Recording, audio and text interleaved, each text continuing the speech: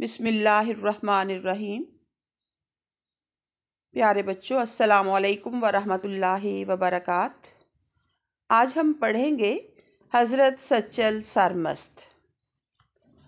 शेख सच्चल सरमस्त आज आरफान व शायरान बुज़ुर्ग पाकिस्तान महसूब में शवद शेख सच्चल सरमस्त पाकिस्तान के अजीम आरिफों और शायरों में शुमार होते हैं ज़ादगाह वई रूस्ताई बेनौ में दराजा के दार नवाही रानीपुर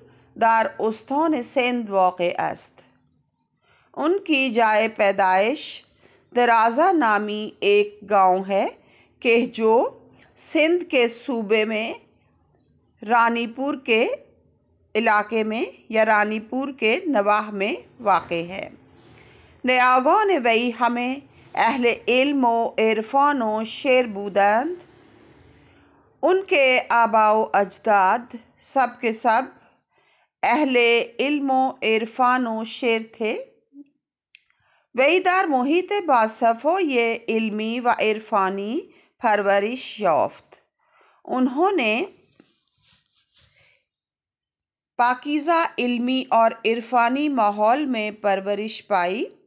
फिदर बुजुर्गश मियाँ मोहम्मद हाफिज़ नाम दाश्त उनके दादा का नाम मियाँ मोहम्मद हाफिज़ था।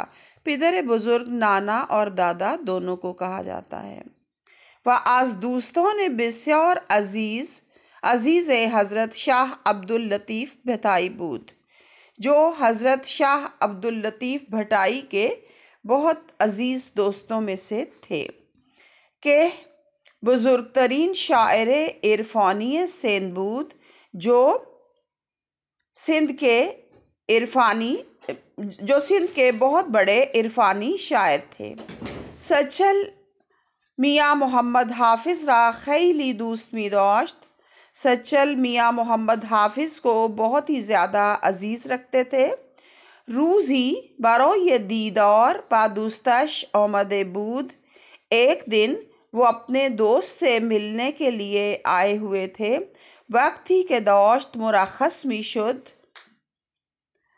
जिस वक्त वो चाहते थे कि रुखसत हो बरो ये हमये कूदकों ने खानवादे, दस्त बेदुआशुद बेदुआशुद तो ख़ानदान के तब, सब बच्चों के लिए उन्होंने दुआ शुरू की या दुआ के लिए हाथ उठाए बाद इशाराई कर ये खुद के रास्तगो, और बाद में एक सच्चे बच्चे की तरफ़ इशारा किया।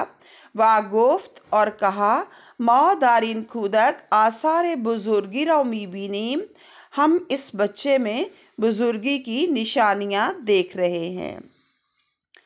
इन खुदक है रास्तगो अब्दुल वहाब बूद ये सच्चा बच्चा अब्दुल वहाब थे के बौधा बेलकब सचल सारमस्त मारूफ शुद के जो बाद में सचल सारमस्त के लकब से मशहूर हुए।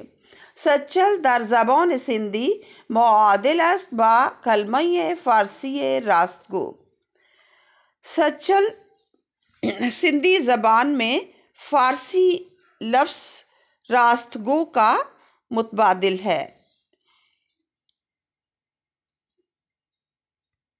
फिदर अब्दुल वहाब, मियाँ सलाहुद्दीन, दार बच्चगी बच्चगी फर्जंदश, फौत करद अब्दुल वहाब के वालिद मियाँ सलाहुद्दीन अपने बच्चे के बचपन में ही, या अपने बेटे के बचपन में ही फौत हो गए। अम्मे अब्दुल वहाब के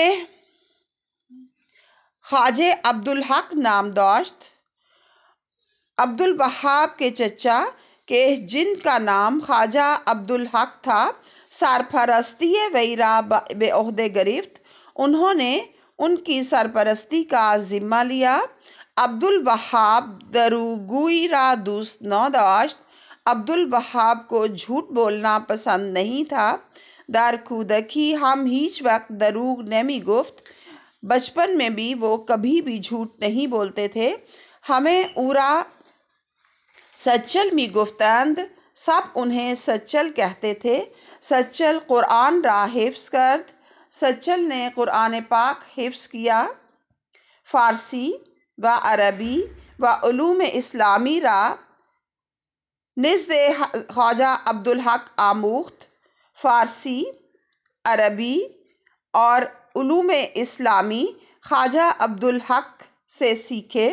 मुरीद व खलीफा ख्वाजा अब्दुल हक नीज शुद वो ख्वाजा अब्दुल हक के मुरीद और खलीफा भी बने।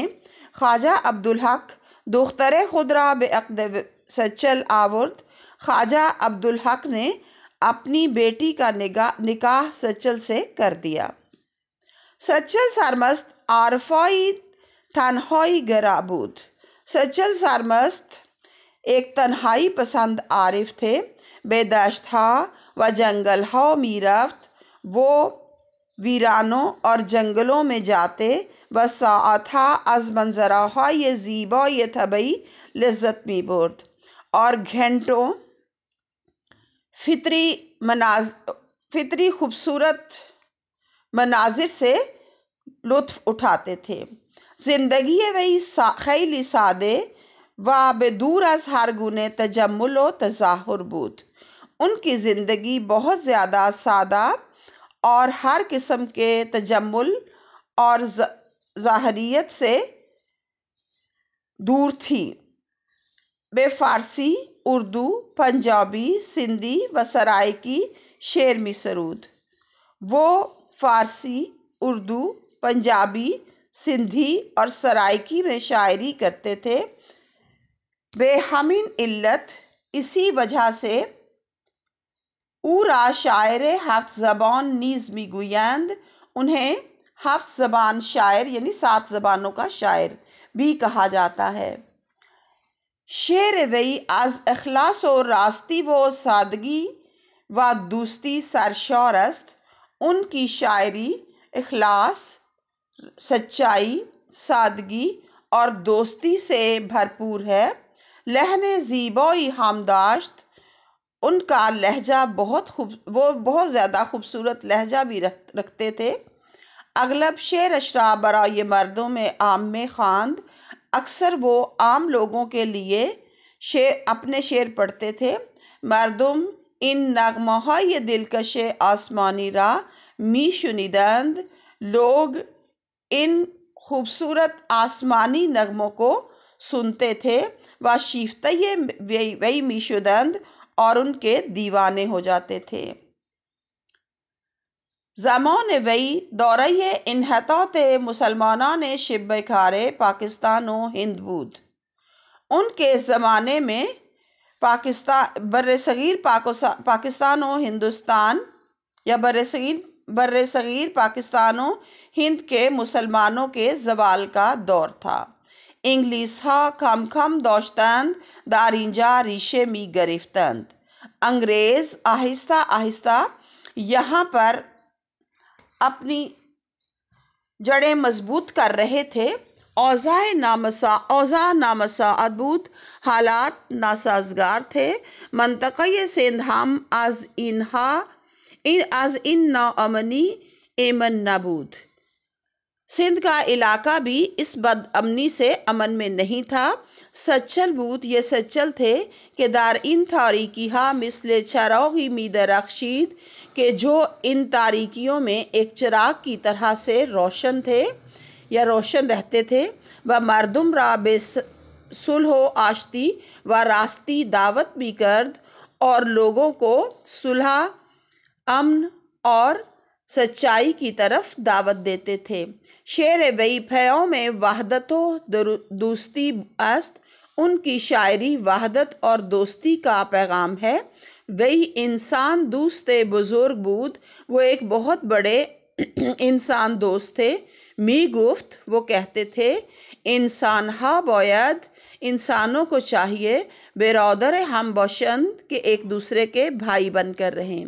बेदीगरान खुमक खुनंद, दूसरों की मदद करें, व बौथन खुदरा बे और और अपने बातिन को आरास्ता रखें।